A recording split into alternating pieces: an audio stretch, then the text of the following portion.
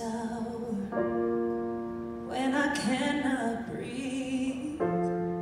Fear is on my chest, the weight of the world on me. Everything is crashing down.